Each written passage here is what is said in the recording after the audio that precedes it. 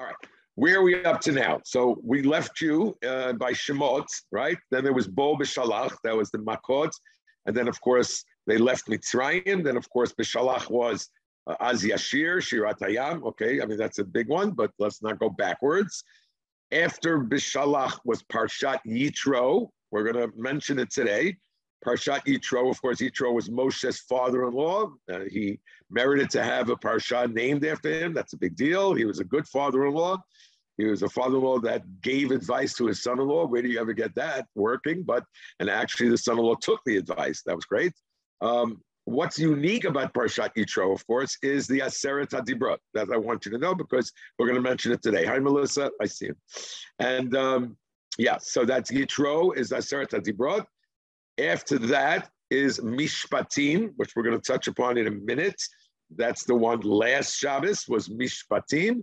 And this week's parsha is Teruma. Teruma is the beginning of many parshiot that talks about the building of the Mishkan. The Mishkan was a mobile unit that was with them throughout their stay in the Midbar, like a mini Beit HaMikdash. Like that, okay? Regards from your daughter. I had her this morning. All right, here we go. Before we do anything, the first thing I always, I, personally believe, and as the, the years progress, and as I watch the news, you know I do a lot. And Now that I, I'm, you know, I'm home more than I'm in school, I see the news more. This message is probably the most important message, especially if you live in a woke society. If you don't know what the word woke means at this point, uh, I don't know where you've been. So let me just tell you what's really, really important from Parshat Mishpatim. Here we go. I say this all the time, but it's really uh, big. All right. So this is last week's Parsha. Okay. Last week's Parsha, which is again, Mishpatim follows Yitro, right? Begins with the words, hamishpatim asher. Everybody stops and asks the question that you should ask also. This is the beginning of a new chapter. Okay, this is, look, you see Aleph. Aleph means Pasuk Aleph. Perek Chaf Aleph, Pasuk Aleph. So it's not a continuation of the previous parsha. It's not a story. It's not a storyline at all. It's about to discuss a whole bunch of rules. Rules, right? If somebody uh, harm somebody, if somebody burns somebody's field down, you know, mostly ben adam lechavero, mostly between person and person. So the obvi question, and girls, ladies, again, I, I want to always point out that these little things are not little things. Uh, these are these are words that Hashem wrote. So there's got to be a lesson here. And the obvious question from a grammatical point of view is, how do you start a sentence with the letter no, fill in the blank. Va. How do you start a sentence with the letter va? But the word letter va means and. But not it's not only a sentence, guys, it's an entire different Torah portion. It's an entire different chapter.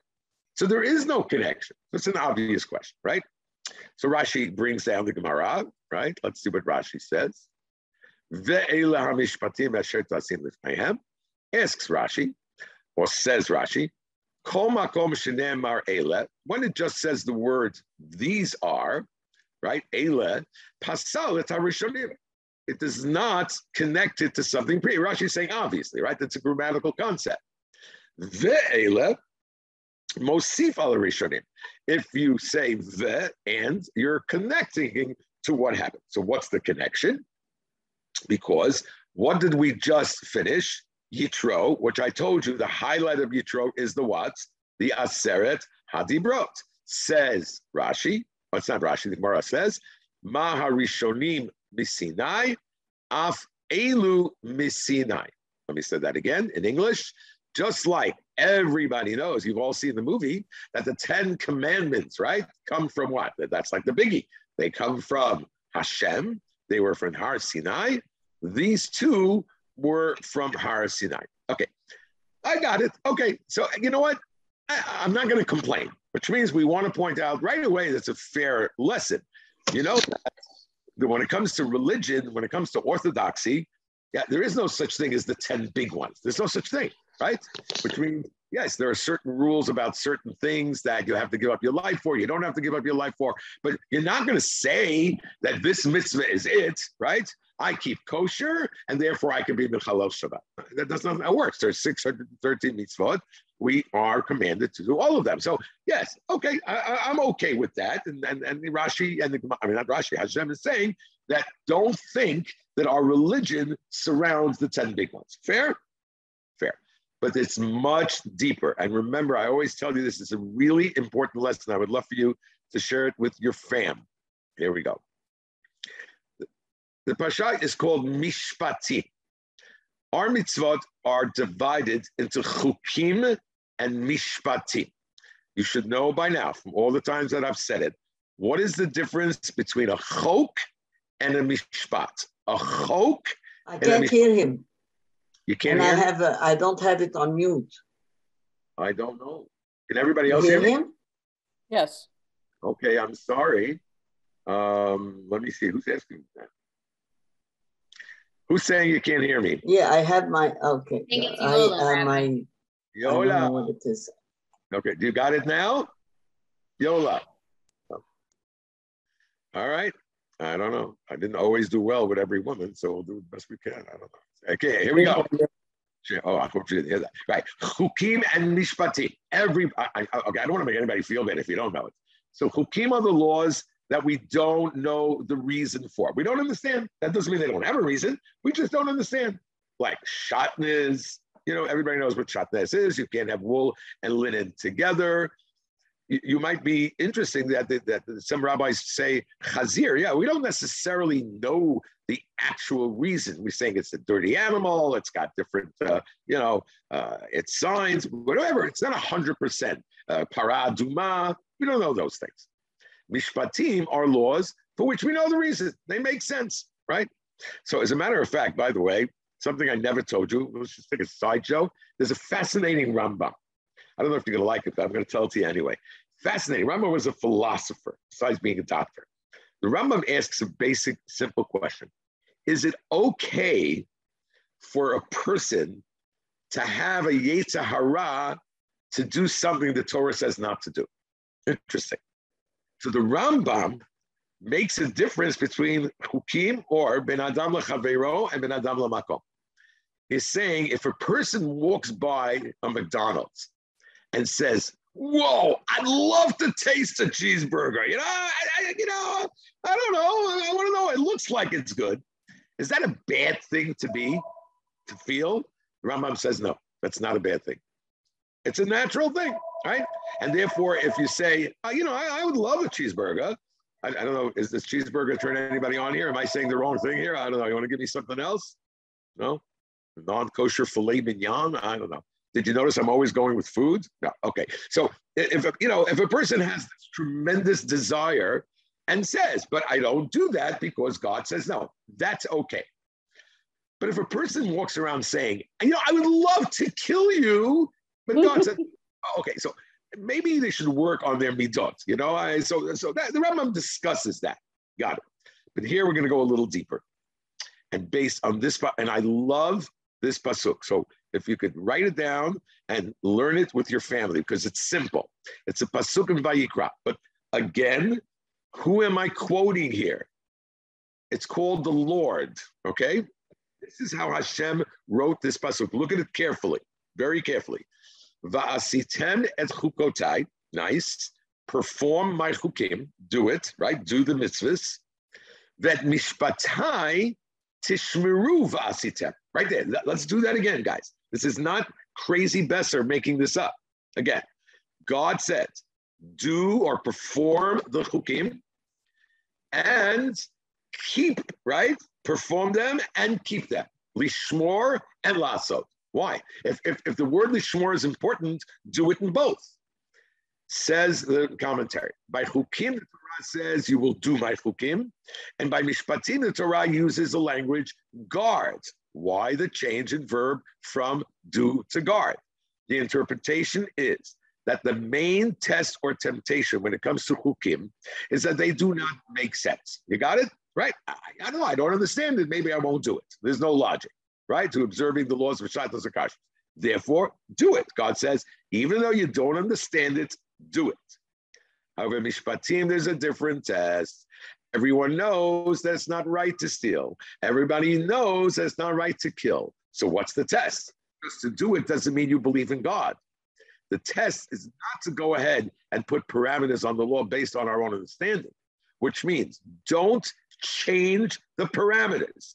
We should not say the reason for this law must be such and such, and therefore I can change the situation. Listen to the lesson. Anybody ever, uh, what's his name? New uh, Shapiro. What's Shapiro's name? New? New? Ben uh, Shapiro. Ben Shapiro. I'm a big Ben Shapiro fan. I don't know if you are or aren't.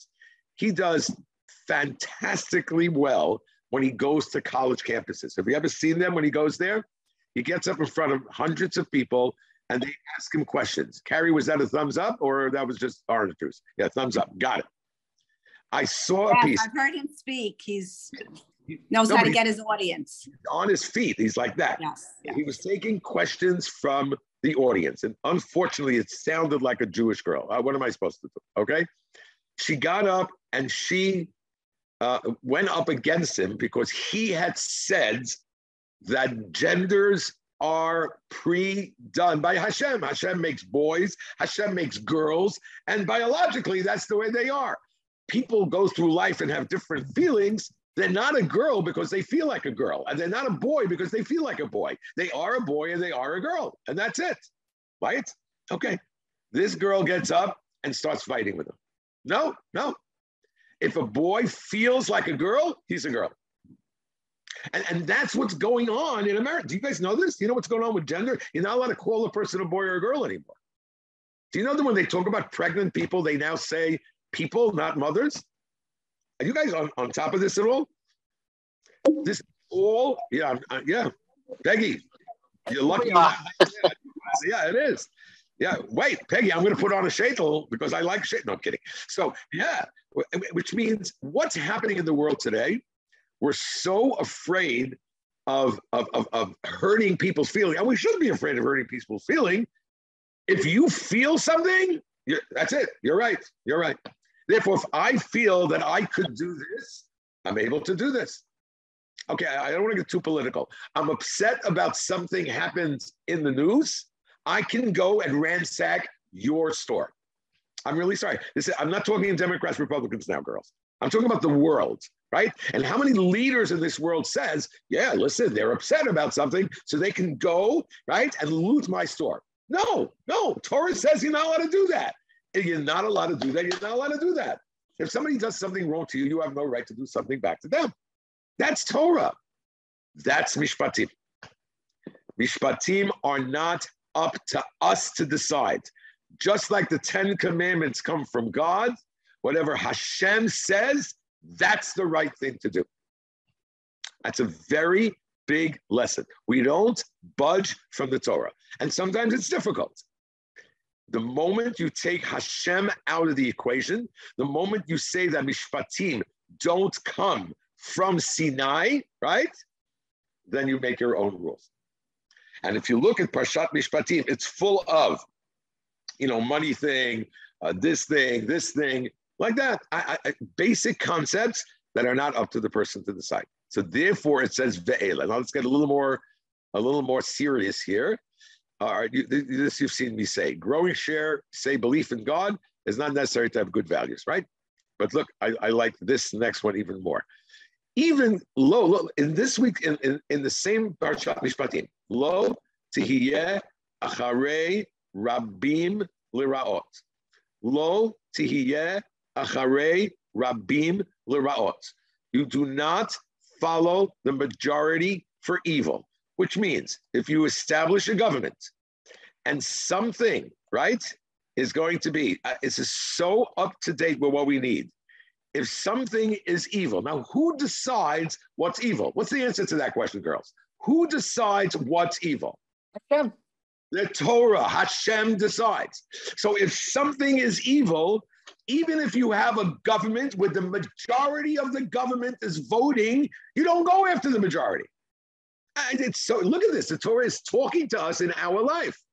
So now you're going to make a decision of what becomes allowed and not allowed based on, on a majority of senators, a majority of people. All of a sudden, you know, I say this all the time, but it's true.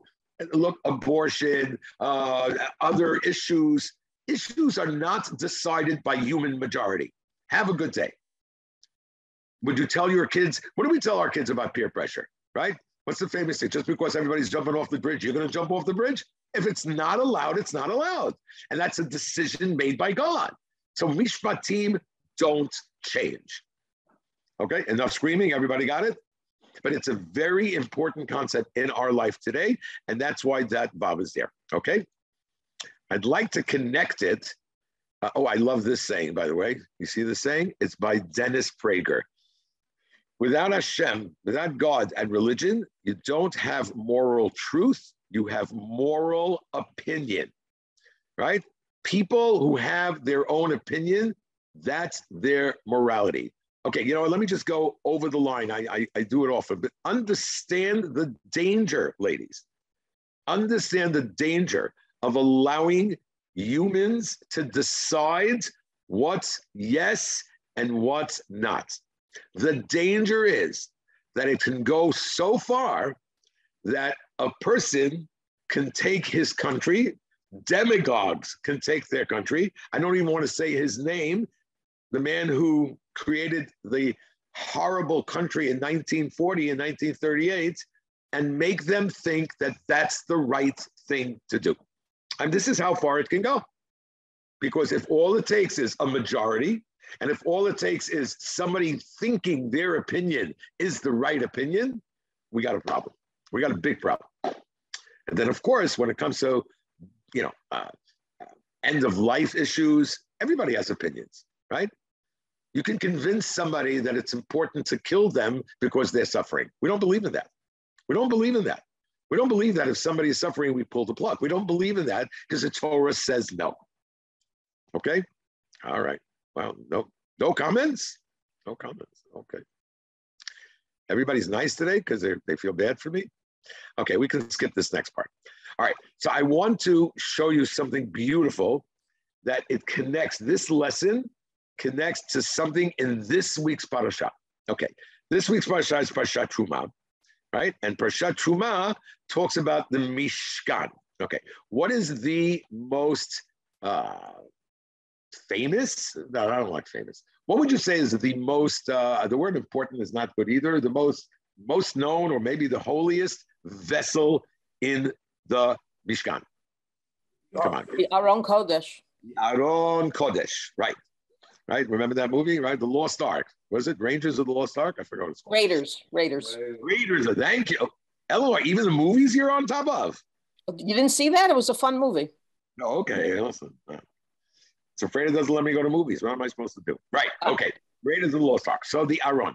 If I ask you to have an image in your head of the Aron, what are you seeing? Well, the Kruvim is one. You see the Kruvim. Good. What was it made out of? Uh, the Kruvim were gold. Yeah, and what about the Aron? The Aron was acacia wood. Acacia wood. Wood or gold? Both. Oh, oh, oh, so if you have a vision of the Aron, if you put image of the Aron of the Aron in the Mishkan on your computer, you're going to see a box of gold. That's what you're going to see, because it was made out of gold. But now Eleanor just said, "Whoa, made out of wood." Where did Eleanor get this from? Because Eleanor knows the Torah. And this week's parsha, it says, okay, let me get this out of the way. The Asu Aron Atzei Shitim make the ark of acacia woods, right? I'd say Shittim is a very good, uh, that, that gets its own story. But wait a minute, wait a minute. The Aron was gold, right? So where does wood come into the gold is the question. So believe it or not, Rashi said something amazing. And if you if you never heard this, know it now. Says Rashi, and I even have a picture for you guys. Look at that. Uh, let me, I gotta get your pictures out of the way. Yeah, here we go. Shlosha Aronot Asa Betzalel. By the way, Betzalel was the contractor, was the architect of the Aron. And the Mir Hashem, next week or two weeks, uh, we'll talk about why Betzalel was chosen to be the architect. He was very young, by the way. He had a great, he had a great construction uh, company. But Hashem told him to make three. What happened? Uh-oh, what happened now? To make three, everybody good? Okay. To make three, uh, share screen. Yeah. To make three boxes, okay? Can you see the three boxes? But I'm going to read Rashi, right? Right? Uh, or, or in, in, English. Betzalel made three arks, two of gold and one of wood. Two of gold. So you got an outer one, right? That was made out of gold. Then the inside was wood, go into what? Into the outer one, in, you know, in and out of gold, and then another one on top of it to have gold. So you don't see the wood at all, not at all. All you see is an outside of gold, and you don't even, you guys with me? You don't even see the third one. You basically see gold, but there is a hidden one inside, right? Uh, of wood. Why? Somebody has to mute themselves. I got, I got it. I got it. I got it. Okay. No. Why? If you don't even see it, you, you can't tell me it's for support. You don't think you don't think gold is strong enough to hold? Girl, somebody tell me something. Gold is not strong enough to hold? The answer is gold enough is strong enough. Just go like this. Yes, gold is strong enough to hold. Good. Class participation, 100%. So what's the point of having the woods if it's totally hidden? I'm ready for somebody. I know one thing is that Avram planted the Atzei Shittim. Femo, and, yes. And Yaakov uh, carried took, them through. Took them down to Mitzrayim. Very good, Eleanor. That's a whole discussion. I, I mean, I, include I, both the most expensive with something that's the mo- that maybe not the most expensive in the Kodesh HaKodeshim. It's to teach a valuable lesson in life. So that's the beginning of a, an answer. I'm not just trying to be nice to you. And therefore, I mean, that's like, my. Like it's for everyone. Like the Torah is for everyone, from the simple to. Oh, okay. So now the most have, extravagant. Like how when we're buried, we're all buried in a wood box. Oh my gosh! You go, whoa, Erica, man, you went the mile on that one. But all right, all right, all right. Uh, I, I, what is uh, as is grounds us? It comes from the earth and it grounds us around whoa, the. Whoa, whoa. Okay, so I tell you what. So we're going to take everybody's answer here, and they were all very, very good. And we're going to say that the first lesson, which is not my main point, the main point is something else. But the first lesson is how about if we say, everybody who just said that, that wood reminds us of humility. How's that? How's that? Is that good? Agree? Uh, humility because it's cheaper. Humility because we get buried in it. We come from the ground. Okay, I got it. So yes, that is the first answer. The first answer is that the Aron, of course, is what? Represents the Torah. The Torah is, that's where the Luchot were. And a person who's a Ben Torah, right? A person that does Ben Torah, but doesn't mean not a woman. You understand? Uh, uh, uh, an individual of Torah, a Torah person, has to have inside humility, right? Inside, but on the outside, feel important that they are representing Hashem. Nice lesson. Good. So therefore, it's there. Now I want to go for a deeper lesson. And this lesson I heard from the former chief rabbi of Eretz Israel. Ready? Gold is solid. Solid. That's why we call it solid gold. That's why we like gold. But there's one thing that gold can't do that wood can do. What is that? Absorb water. It what? It doesn't rot. It doesn't. It doesn't decompose. Oh, so that's why gold is right. Wood decomposes, right? And gold doesn't. So gold is solid. I got it. Give me something that I'm not saying who's better or worse. Give me something that is trying to give the answer. No, we're not letting Safred take the answer. Birds. Okay, I need something good, not something bad. Give me something. No, no, Safred, that was a great answer. I'm sorry. I'm sorry. That was terrible. Yes, ready? What can wood do that gold can never do? Wood can, can absorb. Slow. Slow. She got wood it. can absorb things. Bend. she goes. Bend. On my way to work. Wood burns. Grow. And he didn't Wood tell burns. me. I didn't tell her in advance, except, except for 10 minutes before the class. No. I know, I'm kidding. Wood has the ability to grow. Gold can't grow. Now listen to the depth. Torah is surrounded by gold and gold. However, within the Torah, things can change based on the growth of the person and the growth of life. I'll give you a simple example. You ready? Here we go. There was a man 30 years ago, Rav Wal, uh, uh, Waldinger, forget his first name. I don't remember his first name. Ready? Was asked the following question Are you allowed, al pi Torah, to donate a kidney? What was his psak halacha based on Torah? What do you think? Yes. 30 years ago. Yes. He said no.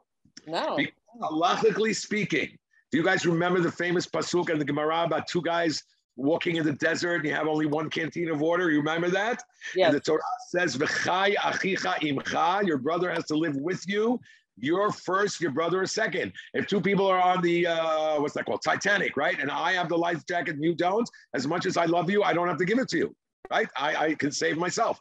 My life comes first. So therefore, going into a sakana, right? Going into a danger, a serious danger, in order to save somebody else is not allowed. So there's the Torah. There's the Torah. Torah says no.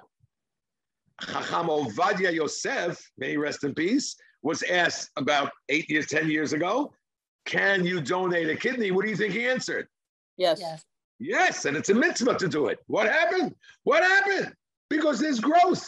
Because there's growth in the medical society. And once there's growth in the medical society, that growth influences the Torah. But the Torah is still encased within solid gold. So, yes, there is room for growth. I, I, I don't want to get into trouble, but education today in the yeshiva system is not the way it used to be. It's, I, I don't know how to say this for those of you who are, it's better than it used to be. It's better than it used to be. I see what my our grandchildren are getting in school from their rabbis, from their young edu- you know, I, I, you're going to tell me I'm crazy. Do you know that my grandchildren, I think they feed them every night another type of supper. There's chont on Thursday. There's poppers on Monday, and they run. They run. They love. They love the prizes. They love the thing. That's that's. Sorry. That's what we have to do today. Yeah, we have to entertain the kids today. Does that mean that the other rabbis were bad? No, but there's growth. You have to allow yourself to grow, but within the Torah parameters. Did you like that one? Yeah, just say yes to make me feel good. Yeah, but I, I, I really think that that's it. And that's the lesson. So, yeah, the Eila Mishpatim, we do understand that sometimes we have to adapt, but it's all based on Torah, which means within the Torah guidelines, that, and we can't just say, you know, ah, you want to make the person feel good. You know, that one of the hardest questions, hardest questions that rabbis, and, and that's why the conservative movement started. But look what happened. Look what happened. They're not here. I'll give you a scenario. The Holocaust survivor who lives somewhere in the in, in the suburbs. He's he's 89 years old. He's got yahrzeit for everyone who died in Auschwitz, and he wants to know if he's allowed to drive to shul to say Kaddish. What's the answer, girls? What's the answer? No. No. The answer is no. As hard as it is to say that to a person, as difficult as it is to say to a person like that, we can't sit there and say, you know, we don't want to make them feel bad. I want you to know Chabad is the biggest kiruv organization, but they still stick within their law, the law of Torah. They're not going to water down the Torah. If somebody is not Jewish because their father is Jewish and their mother is not Jewish, you don't say, Hazid, I feel bad, you know. I, I didn't say be not nice to them but they're not Jewish. That's the law. That's the halacha. Finished. Okay. All right. It's, it's really important. So, yes, change can happen, but within the goal. Okay. So, we have two reasons. You guys gave a great reason, by the way. Okay. Here we go. I don't know if you guys, uh, I'm not trying to promote myself, but I don't know if you guys watch the Torah takeaway. You guys do that? Do you know that uh, Rabbi Galbert sets up that every day during vacation, there were two teachers who gave a Dvar Torah? Did you guys know that? It yeah. was great, Rabbi. We listen to it every day. Thank you. So now you can hear part of it again. So they asked me to do once. I did it, but I want to take it And you know what? I could just stop and play it for you, and then I don't have to teach. But okay, it, it was three minutes. But I want to take it, but I want to take it further, a little further, okay? Because I want to bring it into something that we've never discussed, and that's going to be mezuzah. You'll see where I'm going. Let me just get the first part out, which I'm very excited about. The first part is also good, and then we'll go. Okay, it's just a, it's really a mindset. All right, here we go. So what I pointed out that last week's uh, parsha was Mishpatim, right? And uh, this week is Terumah. So sometimes the Torah uses a word that's unique, and that word teaches us something special. If you've never heard this, you should hear it now because it's a great one. And then I'm going to go to the new thing I want to do. Let's ask a basic question. You see the the uh, bold question here. Since Hashem knows our thoughts, why do we need to make our prayers audible? Why don't we just stand there and think? You know, why do we have to say anything? So there's a pasuk in this past week's parsha that has a word that's weird. Again, it's mishpatim. So here's the case. Yinatsu Anashim is very famous, by the way. Yinatsu Anashim, two people are fighting. Vinakfu Ishahara. You can see the scene. Two guys are fighting. A pregnant woman walks by. The guy ducks. He hits the pregnant woman. V'yatsu Yoladeha, and she miscarries. V'lo Yason. Anosh Yanesh Kasher Yashit Alav Bal Haisha. Again, what happens is this is a, a typical case of mishpatim. This is a court case, right? Two people fighting. A woman by mistake gets hit. If she dies, of course, that's a whole other rule, but she didn't die. She lost her children. She miscarried. So this becomes a money sue. You sue money, right? Who sues the husband of the wife who miscarried, sues the guy who hit, and he goes to court. But here's the word. Ready? Let's do this quick because it's famous. Venatan biflilim. Eh, there you go. Venatan biflilim says the English. The English quotes the what? The uh, the onkelos, and he goes to the judges. How do you say judges in Hebrew, girls? Shoftim. Shoftim. Give me another word. Dayanim. No, never heard Dayanim? Yeah. Okay. Dayanim or Shoftim.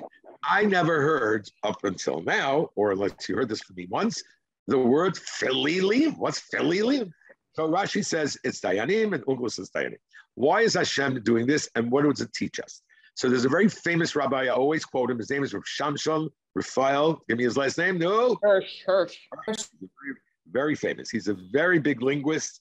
He always goes into grammatical concepts. And he says very nicely, for those never heard it again, lifalel therefore means to judge, right? To judge. What does a judge do, girls? Give me in your own in your own words, but don't say my words that I said on the Torah takeaway. What does a judge do? What's the job of a judge? He decides between the two parties who's justified. How does he do that? By uh, deciding um, who has right on I'm their looking side. at the evidence. Right. He has You to look- listen to both sides. Okay, I'm going to use the word assess, right? He assesses the situation and he decides by clearing up what's the truth and what's not true, right? Says Rabbi Hirsch. Let me show it to you inside so we go fast. Says Rabbi Hirsch. Let's go to this. Shimshon Raphael Hirsch writes the root word for prayer is lifalel, which means to judge. We now take the word lifalel and we make it into hit pa'el, right? Reflexive. Reflexive means that you do it to yourself. Prayer requires a truthful self analysis. Very nice. So Rabbi Hirsch says that the goal of tefillah is not to tell Hashem what's going on, but to talk to ourselves to clarify what our life is really all about. What are we asking for? We're asking for Fa'inu. Who are we talking to? There is a true God in the world. So the goal of tefillah, lehit palel, is to take the time out to clarify what's good, what's bad, what's truth or not. Isn't that nice? That's Rabbi Hirsch. Nice.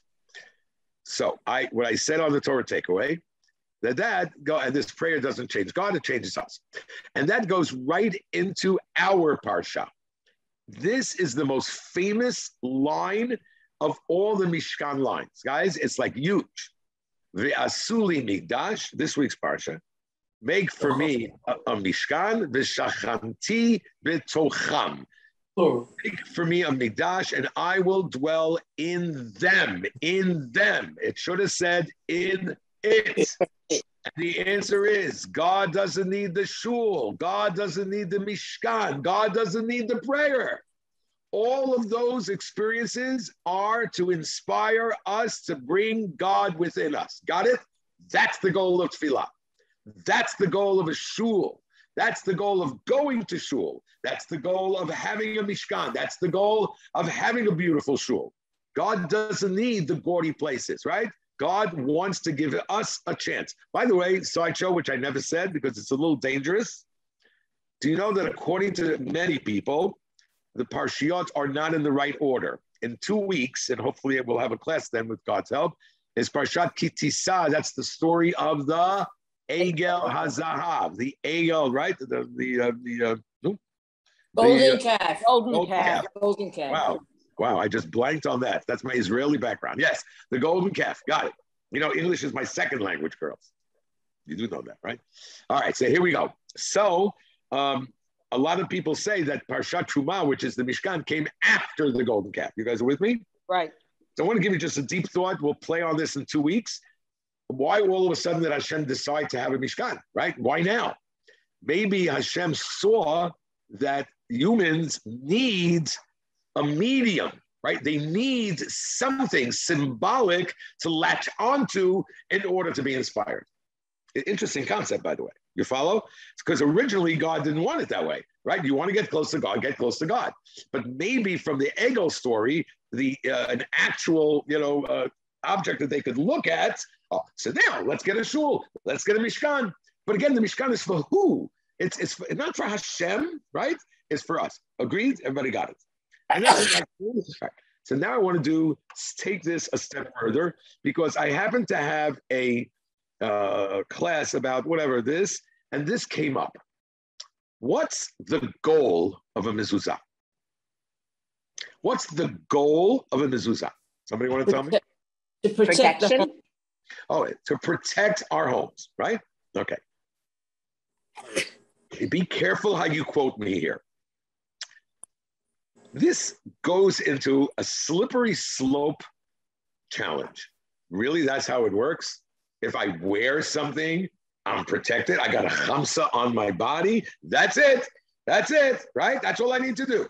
If Hashem, if I need Hashem to protect me, I'm going to put a little item by my door, and now I'm protected. Are you sensing my cynicism? Yeah. Do you understand that this needs to be understood? Because this goes into these amulets, right? Really, that's how things work. I, like has nothing to do with me. I, I, get a little thing, and then I'm good, right? No ayin hara is going to get me because I'm wearing garlic. Yay! You guys don't know that. Eh? You guys know about garlic? Yeah. Anybody? Keep away the vampires. Yeah, uh, don't laugh. This is Hamada never garlic when you were a kid. How about a red string? Red string, I know. Red string, I know. Yes. Are you kidding? My my, my mother would put red string all all my suits. The girls I went out with wanted wondered why all my buttons had red strings on them. But garlic also. But my mother, who was very neat and clean and, and very smelled good, she would take the garlic, put it in the pouch, and douse the pouch in perfume. So I had a pouch with a piece of garlic in it that smelled like perfume. Then you wonder why I started wearing cologne? Okay, so that's okay. Do we believe in that stuff? So listen to what the Rambam says, and I, I, I hope that either you'll agree or you won't be upset. So the Rambam says the following. Here we go. There's a picture of mezuzah. There's a reason I, I put two of them up in a minute. The purpose of the mezuzah is to act as a constant reminder of Hashem's presence. Jews will touch and kiss the mezuzah, right? As it says in the Torah, I mean, Torah says to put it up. Now we can understand how the mezuzah protects the house. A Jewish home, which is a miniature temple, is a vessel of holiness. A door opening to a strange and often hostile world is thus called evil. Which means, let me explain to you what the Rambam is saying. Which means, you know what the oh, what's this doing here? You know what the protection is? I look at the mezuzah, and what happens? What happens? Think of Hashem. I, I think of Hashem. Thank you. It's not the mezuzah that protects us. It's the mezuzah that inspires me to realize I'm walking into a Jewish home. There is a Hashem in my life. And once that happens, I get protected. Do you see the difference? No, it's not a mezuzah on its own. I don't build a shul and now the shul is there. No, no. I build a shul to inspire me. That's what works, right? I pray to inspire me, not to tell Hashem what he needs for me to do. And therefore, I put up a mezuzah to inspire me. Do You like it? It's the same concept. It's exactly the same thing. Now, this I never saw. If you like Hebrew, look at this. Girls, how do you say? Okay, no, let me not show it. Let me not show it. How do you say apartment? Or what? dira. dira. Very good. Dalid, Yud, Reish, Hey. Everybody knows. You go to Israel, I need, I need to dira. Anybody by any wild, wild chance knows how do you say a, uh, a stable for animals? Sorry, I saw it, but it was dir. Who Daled said? Yud. How did Daled you? Yud see- Resh. Oh, because I had it open. You had it on before. You're good. So Yeah. Hashem's presence, the hay. Oh, how nice is that, right? So here we go. In Hebrew, the word for human dwelling is dira, as we know, while the word for animal dwelling, I guess he didn't want to say the word stable, is a dir. The difference between these two words is hay, which means what is the point of the mezuzah? When you walk into your home, don't make it a stable, right? Remember who you are. Remember who God is in your life and then you get protected. Now I feel much better. So it's not just an item. You with me? As a matter of fact, does everybody know? I'm going to bring a good example. Ready? Call on me. Jeannie, call on me. I have a really good example that just came into my head. Thank you, Jeannie. What did the Jews have to do the night of Pesach before they left Mitzrayim? Blood blood on the mezuzah. Korban Pesach, and where did they have to put the blood? On the On mezuzah and the doorposts and the- mezuzah. On the mezuzot, on the mezuzot, huh? Huh? Good one, Tully. On the mezuzot and on the doorpost. What was the point? Because Hashem had to know who to skip. Are you sketching me? God needs the blood to know who's the Jewish house? Really? That's a apikorsus. You can't talk like that. You don't think God knows who's the Jewish home or not? He smells the tones. He knows who's the Jewish home. What's the answer?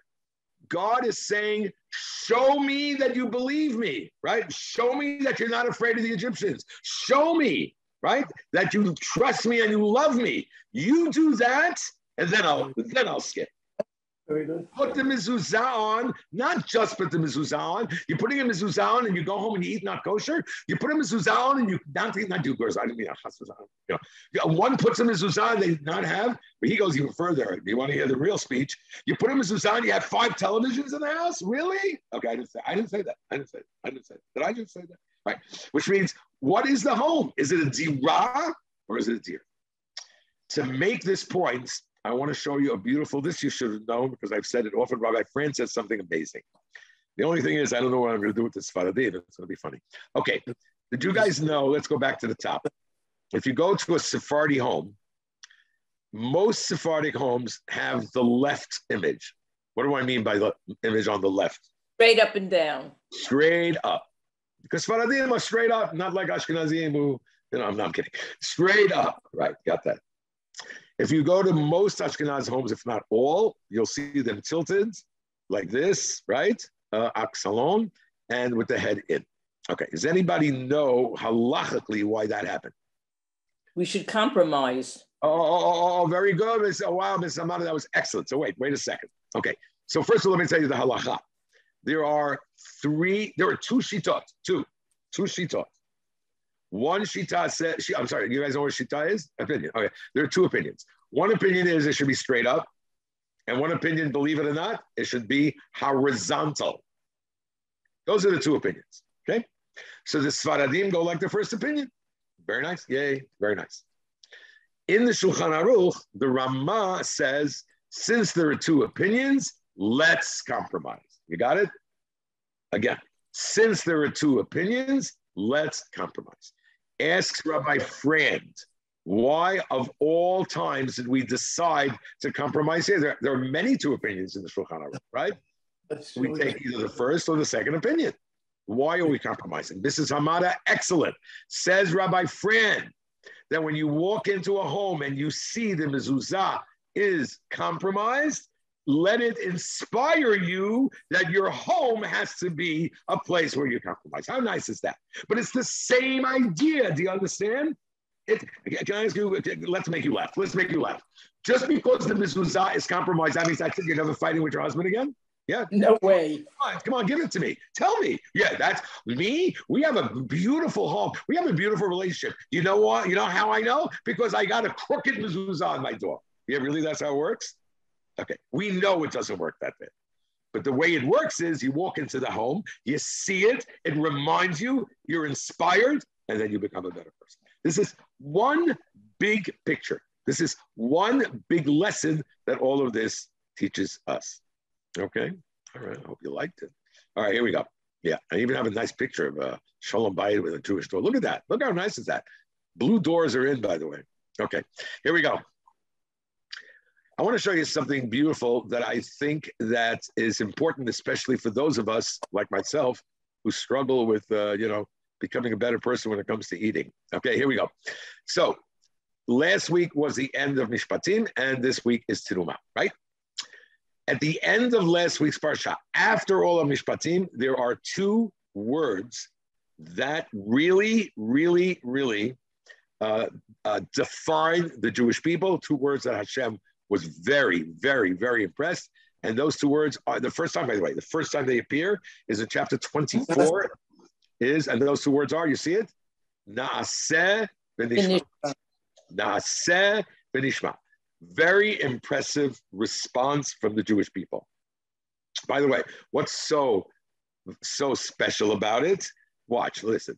Jeannie, Jean, c- can you do me a favor? Sure. Okay.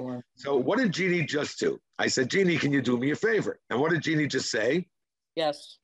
Did she ask me what the favor was? No. Oh, that's dangerous, Jeans. But that's what's called a relationship, right? If you have a relationship, oh, okay. If you have a relationship with somebody and you trust that person, I'm assuming we have one. Therefore, and that's exactly what happened here. Naaseh, right? Vinishma. Naaseh, vinishma. We're ready to do. Nice. Okay. Ladies, did they do anything yet? Or they just said Naaseh, vinishma? They said. They said it. They were inspired and they made a commitment. Listen to this beautiful lesson. I, I, I love it. And you should teach this to your kids. This is basically the, Okay, here we go. And then comes Parshat Truma. Parshat Truma follows Parshat Mishpatim, in which we read the, the beautiful words on seven Ishma. These words were recited by the children of Israel at the time of the Torah. Immediately following the section, the Torah says, God said, speak to the children and let them, you know, take from me, they have to start donating to the Mishkan. The Baal Shem Tov, ladies, Baal Shem Tov, right? Founder of the Hasidic movement, one of the most spiritual people who ever lived in our world, said, comments on this juxtaposition. For those who don't know what that means, what's the connection? What's what's the closeness between Naaseh v'nishma and building the Mishkan? Whenever a person is spiritually aroused, it is important that he or she concentrize that inspiration by practical action to channel the arousal and give it a tangible physical manifestation. You could speak to anybody who talks about, you know, uh, I, I, don't know how to say this, but again, I don't mean to, I'm, I'm talking about myself. Somebody is inspired to lose weight. Somebody is inspired to be healthy. Somebody is inspired, take, do something now starting that day, take upon ourselves something and physically do something. That, how beautiful is that lesson? And it's important, which means inspiration alone is not enough. Do something. Do you know that? Uh, do you know the word? I mention this not often. You ever heard the word likabel? Receive. To, to receive. A big word in Jewish spiritual growth is called a Kabbalah or a Kabbalah. Have you ever heard that? A Kabbalah. Right. A lot of girls and boys, but especially girls, you got to give girls credit. When they go to Israel in the seminary, they're taught, accept upon yourself a Kabbalah. You were inspired by something? Take something upon yourself. Uh, you know, a lot of girls take upon themselves to say Asher Yatzar with more kavanah. Uh, some people take upon themselves never to say Birkat Hamazon by heart, you know, to always, have you ever heard of all this? Uh, to use the Siddur, which means take that inspirational feeling and attach it to a, an action. How beautiful is that? And therefore, and who's teaching us that lesson? Hashem. Guys, you just said Naaseh v'nishma. Let's have a building appeal. Isn't that cool? I, I, we should we should send Hashem to all our appeals. You know, really, really, you really love the yeshiva. All right, give us a check, and then we'll see what happens. All right, so that's nice. But there's a second lesson, and it looks like we're getting to top. I love the second lesson too. You ready? Okay, this is a nice saying. I, I, don't believe what you say. How about this one? The distance between your dream and reality is called action. Beautiful. Oh, oh, and there's a great pasuk. Oh, ooh, put this pasuk on your on your uh, refrigerator. It comes from Eicha. Look at this pasuk. New one. Nisa livavenu el kapayim, then el el bashamai. Oh, this is so beautiful. We should put this on a ring. Nisa livavenu Let's lift up our hearts. So what should go next? Who, who are we lifting our hearts to? To Hashem, right? Right. No, but look what it says, Eleanor. No. Lift your heart. Let us lift up our hearts. El kapayim to our what? To our hands. And then we lift it to Hashem. Right? All talk, no action, not interested. Oh, that was nice. Okay. But then we have another question. I, I think you all know this question, and it's a great, great um, lesson. Let's go back to the Pasuk. Hashem says, Daber el b'nei Israel, speak to the children of Israel, v'yichuli truma. Okay, what's the problem? Come on, girls. Everybody should jump. Yichul should not be. It should be for newly. Newly, right? A hundred percent. Again, every word in the Torah has a purpose. Uh, again, what's the question? Okay, let's go down. I have it actually here. And you shall take from me truma. This week's parsha contains a section of the Torah deals with the building of the Mishkan. The Torah tells us the Jewish people were commanded to bring a donation, right, for the Mishkan. And it says, Ichuli, right? It should say, V'yitzanuli, very good. Winston Churchill, we make a living, but what we get, we make a life, but what we give. But let's go further. Obviously, if you give, you're getting more. But look how this part, I'm going to read it because it's a really important lesson. I might even bring politics into it. Until that moment, the Jewish people had been recipients. Virtually everything they had experienced had been God given. He redeemed them from Egypt, liberated them from slavery, went through the wilderness. We know all that. They were hungry, he gave them food. They were thirsty, he gave them water, right? Apart from the Amalek war, they did everything, Hashem did everything. Though at every physical level that was unparalleled deliverance, the psychologists' effect were not good. The Israelites became dependent, expectant, irresponsible, and immature. The Torah chronicles that they repeated complaints. Reading them, we feel that they were ungrateful, petulant people. But what are you going to do? Hashem had to do this. Let's go to the last one. Now, Hashem now gave them something that they had to do the opportunity to give. Ladies, I, I, I don't want to start up with you. I am guilty. I am guilty. Not that I'm a better person, I'm a worse person. I'm not a good parent all the time. I always and continue to spoil my children. But that's not a good thing. That's not a good thing. No, no. If you only, only give, some kids will not learn responsibility. They'll learn love. You're going to be the best Abba in the world. They have to learn responsibility. They have to not kvetch. They have to learn that you have to work for things. Look how important. Hashem said, up to now, I didn't have a choice with my little Jewish people. What am I going to do? They're going to split the sea, right? They're going to do dam sfadeya. No, I had to do everything for them. Where are they getting food from? The man had to come from Shemayim. Where are they getting the water from? But now that they're building a Mishkan, well, what could, what could God have done? Poof, there's a Mishkan. No, no, no, no, no, no, no, no, no, no. You have to build the Mishkan. And therefore it says, V'yikhuli. You understand? They have to get from this, learn that they have to gain, how beautiful is that? They have to gain responsibility girls, I have to say this because I was listening to this on the news. I'm not saying Democrats, I'm not, I'm not saying anything. But forget about the political parties. A lot has been talked about that people are not around to work. Do you know that? Do you know that people couldn't? I'll tell you who. Oh, okay, one of our principals couldn't get on a flight. The flight was delayed because the stewardess decided not to show up. I'm not coming. Have a good day. That to wait for another stewardess to wake up and come. Another one, the pilot didn't show up. How many trucks are not being used because nobody's working? Why? Because you get so used to the government giving you tons of money. What do you want to work for? For what? What about the, what about the sense of responsibility? What about the sense of self growth? That's what you get when you just give people things and don't. Okay, maybe you don't like what I'm saying. I believe in that. I believe you have to enable by telling them that they have to work for it. Isn't that amazing? That this is what the Torah is saying, and that's why Hashem said, and that's why He said, "Be kuli." We're good. Yeah. Should we do one more? Can we do one more? It's after two. One more. How about if I do one more and then we'll segue into it next time? It's probably not next week. Probably in two weeks. Okay. Here we go. This is so beautiful. It's an easy one, and we'll learn a nice lesson. It's very famous, and let's move. Okay. Yeah, this is beautiful. So there were two kelim that is discussed. There's the Aron, which we discussed already, and there's the Shulchan. Okay, to the left is the Shulchan, to the right is the Aron. Uh, what was on the Shulchan? What was it used?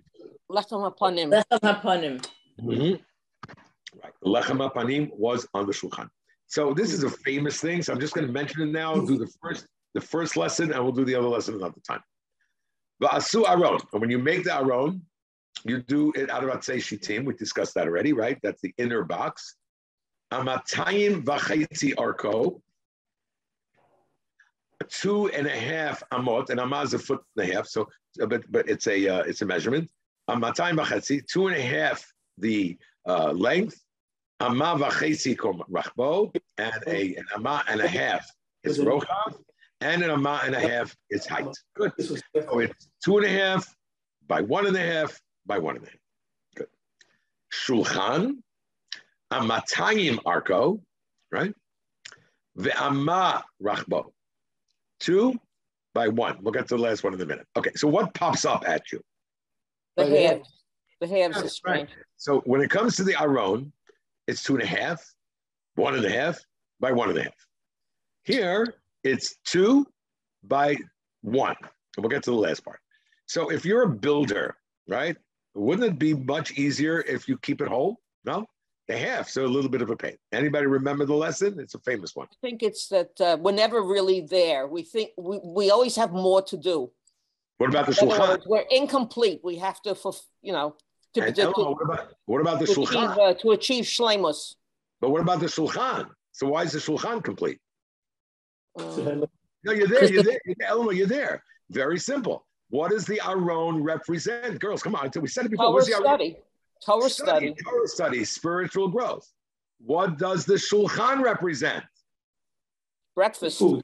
Breakfast. Food. Yes, yes, very good.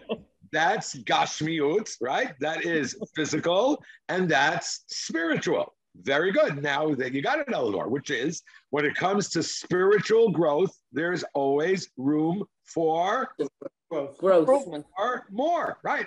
You're never complete. Very, very good. I, I, don't know if you guys remember, I always told you, anybody ever learned Gemara here, open a Gemara to the very first page. What's the letter on the first page of every Masechet? Bet, right. It starts on Daf Bet. What happened to Aleph, right? It's Aleph Bet. No Gemara has a Daf Aleph. Any Gemara. Isn't that amazing? For those who don't know, there is no Daf Aleph in Gemara. To teach you that you think you know it all, you don't even know the beginning. You have to start again. Crazy. But when it comes to breakfast, I like that, right? The breakfast, even though all of us have gone to the uh, inbal, we never have enough breakfast. But yes, when it comes to when it comes to eating, when it comes to physical, we have to say, you know, we're happy with what we have. It's a beautiful lesson. Okay, so what's not answered, but I'm not going to do it now because it's late already. What's not answered is I'm, I'm a very, you know, I, you love my theory, but all of a sudden my theory ended with the last part. It says, but when it comes to the Shulchan, it's two by one by one and a half. What happened to Besser's theory? So you know what we're going to do? We're going to do what we do on television. You have to stay tuned. Cliffhanger, cliffhanger. Yeah, this is a cliffhanger. You're not getting this till no. Not that I don't want to tell you the answer. The answer is much bigger. So I don't have that much time. It's really, really nice to see everybody again. Really, really, really nice. Uh,